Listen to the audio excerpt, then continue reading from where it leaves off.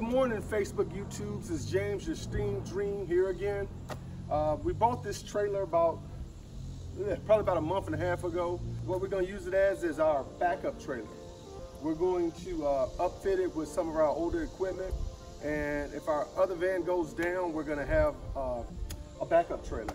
Uh, it's pretty interesting. Uh, maybe something that some of you guys may consider uh, if you're not ready to buy another van. Um, it's just a cost-effective way if you have older equipment to have a backup. And we know um, as cleaners, it's not if it's gonna break, it's when it's gonna break. You're gonna have certain issues, so we are making a backup to uh, cover us in those times and uh, should be pretty interesting. Uh, check it out. So the first thing we're gonna do is we're gonna take everything and kind of make accountability of it. Um, just started putting certain things out here that we may need. Uh, this is kind of a learn as you go, so I don't know exactly what I'm gonna need. Some of our old equipment in here. The first thing we're gonna do is clean it off and I'm gonna color paint it, color match it. We want it to look good in there. We're gonna put some lights in here and um, let's see what we got. Let's show you the side. Actually gonna break my machine apart. It's pretty dirty from the last install. We're gonna paint it all black. We're just gonna put some plastic paint on this all black. And then we will start mounting as we get it cleaned up. It's pretty dirty now, but it should come out pretty great. Awesome, awesome, awesome. There we go, guys.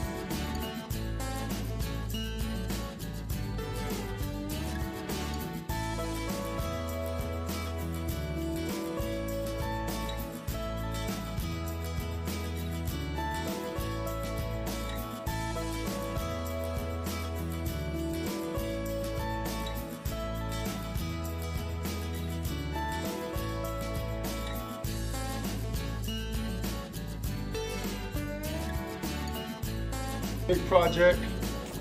Uh, I think I finally got everything taken out. That's my blower, my tray. I'm gonna clean all this off.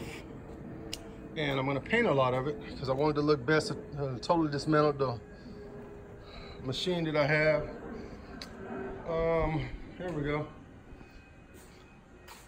My pump, took the motor off. Seems like a lot, but it's uh, actually pretty simple machine. All of them work together. I mean, just a, the same. They just have newer components on it. So we'll show you after we get it cleaned up and we're gonna spray paint it. Got to clean out my trailer and we're going to put some flooring in it and we'll start putting it back together. All right, we'll get back with you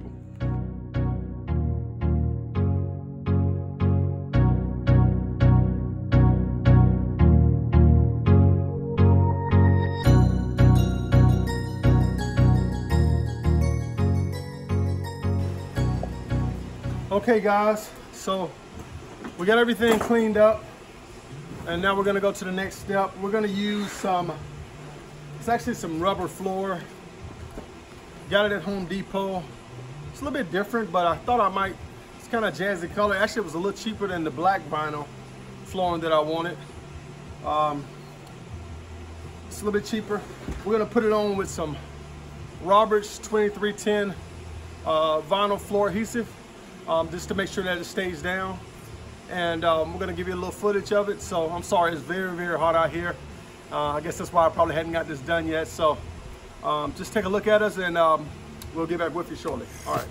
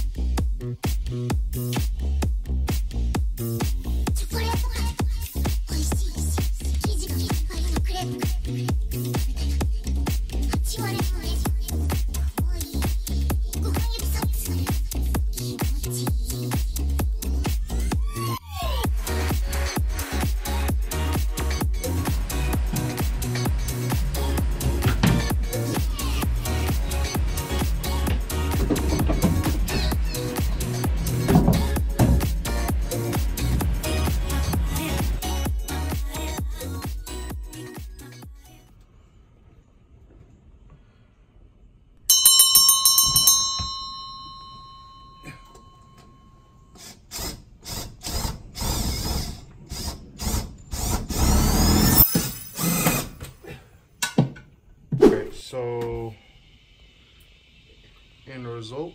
So what we did was we caged in our um, our freshwater tank. Um, as the as the um, trailer moves, I didn't want it to be able to fall. You know I'm saying? We'll set it steady. I'm probably put a wrap around here to hold it in place. But um, other than that, it's not coming out.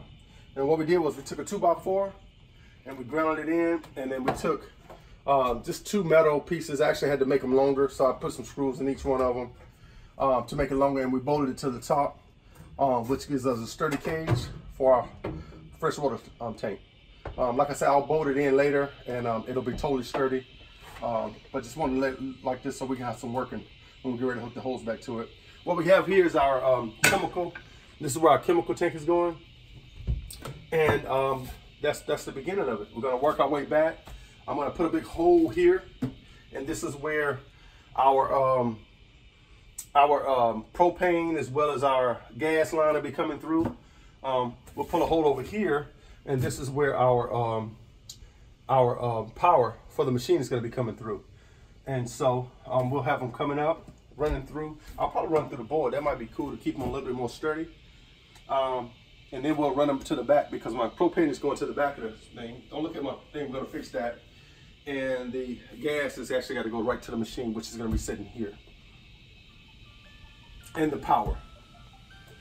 So we're gonna put a big hole over here. We don't wanna run the gas in the power line through the same hole. Okay, great. That's what we got. All right, we're on it. Cool.